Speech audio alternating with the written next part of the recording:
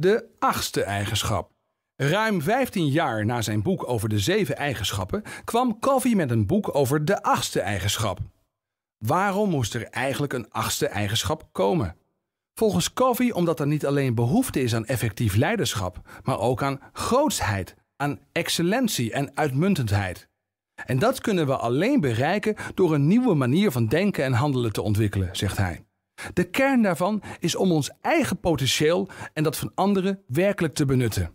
En dat is de achtste eigenschap: het vinden van je eigen innerlijke stem, je roeping, om vervolgens anderen te inspireren om hetzelfde te doen.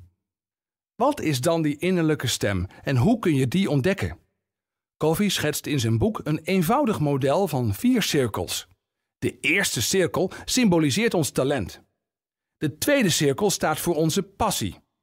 De derde cirkel draait om de behoeften van de wereld om ons heen. En de vierde cirkel staat voor ons geweten.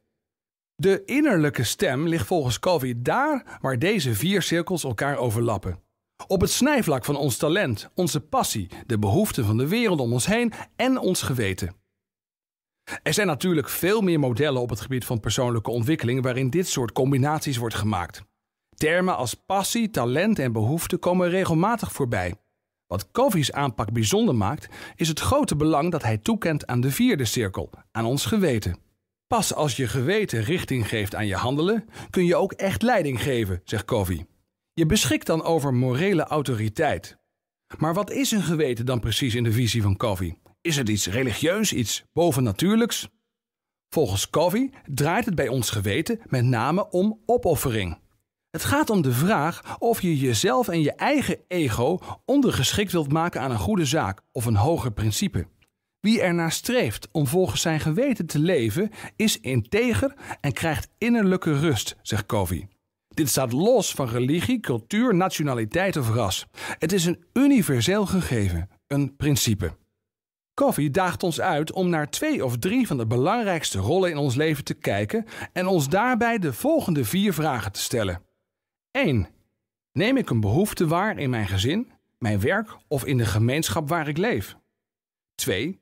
Heb ik een talent dat ik kan gebruiken om in die behoefte te voorzien? 3. Voel ik daar passie bij? En 4. Inspireert mijn geweten mij om in actie te komen?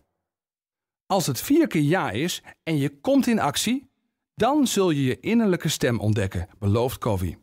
De volgende opgave is om ook andere mensen te helpen om hun innerlijke stem te vinden. Volgens Covey lijden veel werkende mensen er echt onder dat ze niet de kans krijgen om hun talenten en capaciteiten te gebruiken in de organisaties waar ze werken. Als leiders zich zouden verdiepen in de achtste eigenschap, zouden ze een compleet nieuw reservoir aan mogelijkheden aanboren en bovendien de motivatie in het bedrijf enorm bevorderen.